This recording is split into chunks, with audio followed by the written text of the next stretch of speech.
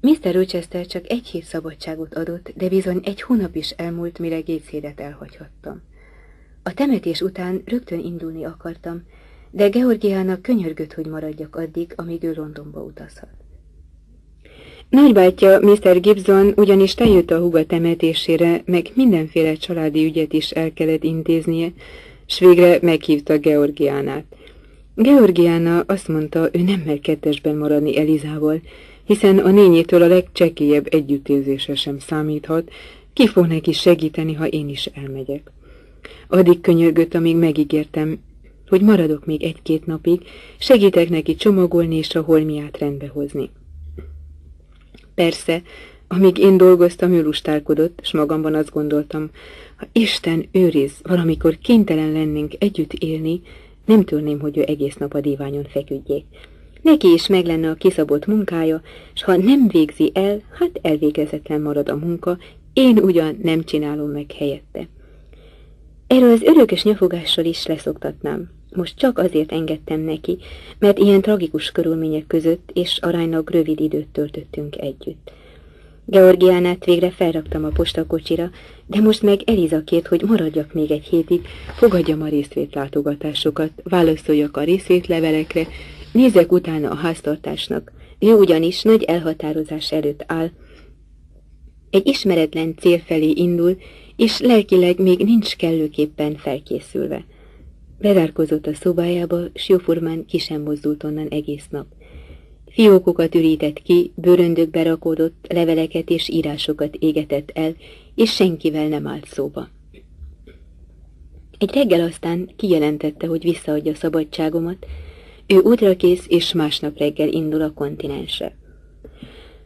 Azt sem tudom, hogy köszönjem meg felbecsülhetetlen segítségedet és tapintatós viselkedésedet. Micsoda óriási különbség van közted és Georgiának között. Ég és föld. Te éled csendesen a magad életét, és senkinek nem vagy terhére. Tehát én holnap indulok. Egy francia kolostorban húzódom meg, Liszl mellett. Remélem, ott békében élhetek. Egy darabig a romai katolikus vallás dogmáit fogom tanulmányozni. Ha, amint már is gyanítom, úgy találom, hogy a katolikus vallás rendes, tisztességes életmódot biztosít, elfogadom a romai tandételeket, és valószínűleg apáca leszek. Nem árultam el meglepetést Eter hallatára, és nem is próbáltam lebeszélni Elizát. Azt gondoltam, hogy az áldai élet éppen megfelel neki. Eliza ezekkel a szavakkal búcsúzott tőlem. Isten áldjon Jane el. Megérdemled a jó Isten segítségét. Deréklány vagy. Te is deréklány vagy, Eliza. Kár, hogy elevenen bepalasztatod magad egy francia kolostorban. De hát ez utóvégre nem az én dolgom. Te tudod, mit csinálsz. Igazad van. Elváltunk. Mint hogy a rédlányokról alig ha esik több szó, mindjárt megemlítem, hogy Georgiána egy gazdag Gruéhoz ment feleségül, Eliza pedig valóban fölvette a fátyolt, és jelenleg főnöknője annak az árdának, ahol a noiciátus éveit töltötte, és amelynek oda ajándékozta egész vagyonát. Nem tudom, az emberek hosszabb vagy rövidebb távollét után milyen érzésekkel szoktak hazatérni. Én nekem sohasem volt otthonom, ahonnan elmehettem és ahová visszatérhettem. Gyermekkoromban Géchétből legfeljebb sétálni mentem, s ha egy hosszú séta után hazatértem, mindig kikaptam, mert fáztam és rossz kedvű voltam. És később, amikor Lawoodban vasárnaponként templomba jártunk, csak azt tudom, hogy sóvárogva vágytam meleg szobába és bőtséges vacsora után, de soha egyikben sem volt részem. Ezek a hazatérések egyáltalán nem voltak kellemesek. Sem Gétszétbe, sem Lowwoodba nem vonzott semmi. Hogy tanfilmben milyen lesz a hazatérés, azt még csak ezután próbálom ki. Az utazás roppant fárasztó volt, 50 mérföld az egyik nap, 50 mérföld a másik nap, és közben egy éjszaka a fogadóban. Az utazás első felében Mrs. Reed utolsó perceire gondoltam. Láttam eltorzult fakó arcát, hallottam idegenné vált hangját, átéltem újra a temetést, láttam a koporsót, a ravatalt, a feketébe öltözött cselítséget. A cselítségen kívül alig kísérte más a halottas kocsit. a tátongós sírboltot, a néma templomot, a komor gyászszertartást. Aztán Elizára és Georgianára gondoltam. Az egyiket, mint bárkirálynőt képzeltem magam elé, a másikat, mint zárdaszüzet, és apróra elemeztem egyéniségük sajátosságait. Este, amikor B város egyik szállodájában fáradtan lefeküdtem, már nem az elmúlt hetek eseményeivel foglalkoztam, inkább az izgatott, mi lesz, hogy lesz Tonfilben, ha megérkezem. Egyelőre visszamegyek, az igaz, de vajon meddig maradhatok? Sokáig alig ha. Mrs. Fairfax írt egyszer-kétszer, mi alatt Gatesheadben voltam. Tőle tudtam, hogy a vendégek hazamentek, s hogy Mr. Rochester három héttel ezelőtt Londonba utazott. Két hét múlva várják vissza. Mrs. Fairfax úgy vélte, hogy az esküvővel kapcsolatosan akar egyet-mást elintézni, többek között új hintót is készül venni. Mrs. Fairfax még mindig nem tudott megbarátkozni a gondolattal, hogy Mr. Rochester Miss Engramet veszi feleségül, de abból, amit az emberek beszélnek, és abból, amit tulajdon szemével látott, Mrs. Fairfax mégiscsak kénytelen arra következtetni, hogy az esküvőt rövidesen megtartják. Sehogy se értette, miért kételkednék Mrs. Fairfax. Én bezzeg egy pillanatig sem kételkedtem. És velem mi lesz? Tűnöttem. Én hová megyek? Egész éjszaka Miss Engramről álmodtam. Azt álmodtam, hogy bezárta az órom előtt Thornfield kapuit, és másfelé mutatott, Mr. Rochester pedig összefont karral állt mellette, és gonyosan mosolygott. Nem csak Miss Engramre, hanem rám is. Nem írtam meg pontosan Mrs. Fairfaxnek, hogy mikor érkezem, mert nem akartam, hogy kocsit küldjenek elém Milkodba. Gondoltam, majd gyalog hazasétálok. A táskámat ott hagytam a fogadóban, és egy júniusi délutánon, hat óratájban elindultam egyedül a György. Az út nagyobb részt földeken vezetett keresztül, és meglehetősen elhagyatott volt. Enyhe idő volt, de nem megejtő varázsú este. Az út mentén még véges végig kaszáltak az emberek. Az ég volt inkább holnapra ígért szép időt. Ahol kékje kilátszott a felhők mögül, szelíden, egyöntetően kék volt, a felhőrétegek pedig magasan, vékonyan, fátyolszerűen úsztak. A nyugati ég is meleget ígért, nem híg vizeskék fényben, hanem meleg aranyfényben csillogott, mintha tűz lobogna kárpítja mögött egy áldozati oltáron. Olyan öröm fogott el, amint Tanfield felé közeledtem, hogy egyszer meg is álltam, és azt kérdeztem magamtól, mit jelent ez az öröm? Utóvégre nem hazamegyek, korholtam magamat, még csak nem is olyan helyre, ahol sokáig maradhatok, vagy ahol őszinte jó barátok szeretettel várnak. Mrs. Fairfax kedves mosolyjal fog üdvözölni, a kis adél talán tapsol és ugrál majd örömében, de nagyon jól tudsz, hogy nem rájuk gondolsz, és hogy az a valaki, akire gondolsz, az meg nem gondol rád. De hát az ifjúság makacs, és a tapasztalatlanság vak. Elhitettem magammal, hogy az is öröm, ha én láthatom Mr. Rochester-t, tekintet nélkül arra, hogy ő rám néz-e vagy sem, sőt még azt is elhitettem magammal, hogy sietnem kell, mert csak néhány hét, talán csak néhány nap van hátra, és örökre el kell búcsúznom tőle. Ezzel megfojtottam magamban az újszülött gyötrelmet, egy túlszülöttet, amelyet képtelen voltam magaménak elismerni, és fölnevelni, és tovább siettem. Tanfélmezőin is kaszálnak, azaz éppen most fejezik be az emberek a munkát. Vállukra vetik a gerebjét és hazatérnek, éppen abban az órában, amelyben én megérkeztem. Már csak egy vagy két réten kell átvágnom, aztán az országút túlsó oldalán az ott már Tonfeld kapuja. Mennyi rózsa van az idén, hogy tele vannak ezek a bokrok, de nem érek rá rózsát szedni, sietnem kell. Elmegyek egy magas bokor mellett, amelynek leveles, virágos ágai áthajlanak az ösvényen, és már látom is a kerítés lépcsőit. És a lépcsőn ott ül Mr. Rochester, könyvel és ceruzával a kezében valamit ír. Nem, nem kísértett, és mégis minden idegszálam remeg, nem vagyok ura magamnak. Mit jelent ez? Erre azért nem voltam elkészülve, hogy így fogok reszkedni, ha viszont látom, hogy a hangom is elfullad, és jóformán mozdulni sem tudok. Ha majd meg tudok mozdulni, visszafordulok, nem tehetem nevetségessé magamat. Van a háznak egy másik bejárata is, de hát most már úgyis mindegy. Ha száz bejárata lenne is a háznak, Mr. Rochester már meglátott. Halló! Kiáltja, s félretolja a könyvet és ceruzát. Csak hogy megjött. Erre, erre!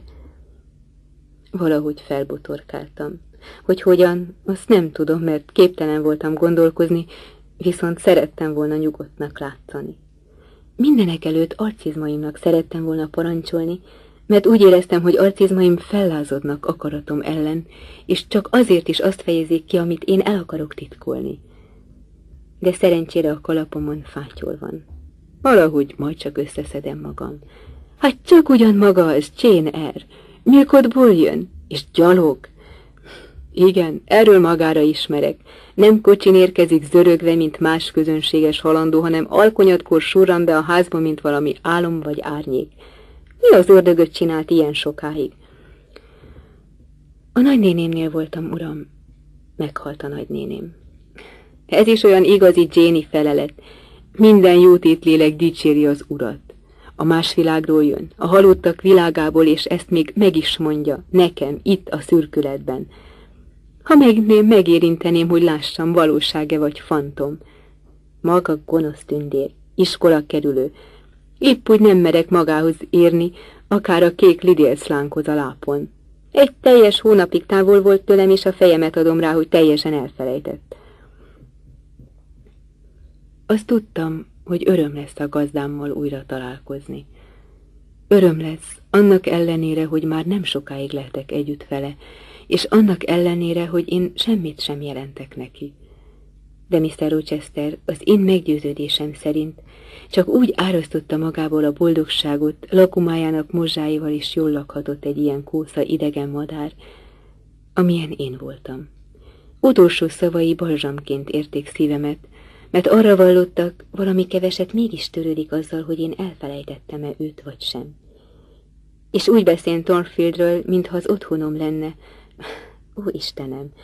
Nem mozdult a lépcsőről, s nekem nem nagyon akarózott azt mondani, hogy álljon félre. Megkérdeztem tőle, hogy volt-e Londonban. Voltam. Ezt meg hogy találta ki? Mrs. Fairfax megírta. Azt is megírta, mit csináltam Londonban? Igen, uram, Mindenki tudja. Alig várom, hogy lássa a hintot Jane, és megmondja, hogy jó lesz-e a feleségemnek. Úgy fest majd benne, mint egy királynő, ha hátradul a bíbor színű bársonyülésen. Csak azt sajnálom, Jane, hogy külsőre nem illünk egymáshoz. Mondja, maga kis boszorkány, nem adhatna nekem valami bűvös szert, valami varázsitalt, amitől megszépülnék? Nem, uram, ehhez még az igazi varázslók sem értenek. Mondtam, magamban pedig hozzátettem. Szerető szem kell hozzá, semmi egyéb. Aki szeretettel nézi az arcát, az szépnek fogja találni. Azt is mondhatnám, hogy a férfias erő és bátorság nagyobb hatalom, mint a szépség. Mr. Rochester úgy látszik olvasott gondolataimban, mert oda se hallgatott arra, amit mondtam, viszont azzal az ő különös mosolyával mosolygott rám, amely nagyon ritkán derítette föl arcát. Igazi napfényes mosoly volt, ünnepi percekre való. Menjen föl, Jane, mondotta, és helyet engedett a lépcsőn. Pihentesse fáradt lábacskáját egy jó barát házának küszöbén. Most már kénytelen voltam szó nélkül engedelmeskedni, semmi szükség rá, hogy tovább társalogjak. Átkapaszkodtam a kerítés lépcsőjén, és hangtalanul tovább akartam menni. De hirtelen ösztönösen megfordultam, és azt mondtam, jobban mondva, azt mondta valami bennem akaratom ellenére. Köszönöm, Mr. Rochester, hogy olyan nagyon jó hozzám. Hihetetlenül boldog vagyok, hogy visszajöhettem. Ahol ön van, ott az én otthonom. Más otthonom nincs a földkerekségen de most már aztán úgy neki iramodtam, hogyha akar sem ért volna utol. Adél majd kiugrott a bőréből örömében, hogy hazajöttem, Mrs. Fairfax is szokott kedvességével fogadott. Lee rám mosolygott, még Sophie is ragyogó arccal üdvözölt. Mindez nagyon jól esett. Nincs nagyobb boldogság, mint ha szeretnek bennünket embertársaink, s mint mikor úgy találjuk, jelenlétünk hozzájárul ahhoz, hogy jól érezzük magunkat. Aznap este nem akartam a jövőre gondolni, nem akartam hallani a hangot, amely a közeledő vállással közeledő fájdalomra figyelmeztet. Miután megteáztunk, Mrs. Fairfax elővette kötését, én a közelében helyezkedtem el, Adél pedig a lábam elé a szőnyegre telepedett. Néma fohászt küldtem az égbe, hogy sokáig maradhassunk együtt, ilyen áldott békességben. Mr. Rochester váratlanul belépett, és úgy látszik neki is örömetelt a békés képben, mert tréfásan megjegyezte, hogy Mrs. Fairfax, amióta nevelt lányát visszakapta, megint meg van elégedve a világ folyásával. Adél pedig majd megeszi az ő angol kismamáját. Szinte azt mertem remélni, hogy Mr. Rochester házassága után is hajlandó lesz pártfogása alatt tartani minket, és nem fog száműzni a napsütésből, amelyet jelenléte áraszt. Két nyugtalanul nyugalmas hét következett, miután Thornfield halba visszatértem. Az esküvőről senki sem beszélt, előkészületeket nem láttam. Majdnem minden nap megkérdeztem Mrs. Fairfax-től, nem hallott-e valamit, de a válasz mindig tagadó volt. Annyit mondott egyszer, hogy megkérdezte Mr. Rochestertől, mikor lesz az esküvő, de a felelet olyan furcsa volt, hogy nem lehetett belőle kiokoskodni semmit. Leginkább azon csodálkoztam, hogy semmiféle ide-oda utazgatás nem volt, és Mr. Rochester egyetlen egyszer sem látogatott el Engrem Parkba. Igaz, hogy a menyasszony vagy húsz mérföldnyire a szomszéd megye túlsó végében lakott, de hogy csak nem távolság egy szerelmes szívnek. És különösen egy ilyen kitűnő és fáradhatatlan lovasnak, amilyen Mr. Rochester. Néhány óra alatt odaér. Már-már reménykedni kezdtem, hogy az eljegyzés felbomlott, hogy a hírek kezdettől fogva alaptalanok voltak, hogy az egyik fél vagy mind a kettő mást gondolt. Sokszor fürkésztem gazdám arcát, hogy szomorú-e vagy haragos de mostanában mindig derűs volt az arca. Sem a szomorúság, sem a harag árnyéka nem sötétítette el. Sokszor, ha én elkedvetlenedtem, ő nem bírt a jó kedvével. Soha ilyen gyakran nem hívatott, soha ilyen kedves nem volt, és, ó Istenem, soha nem szerettem őt ilyen nagyon.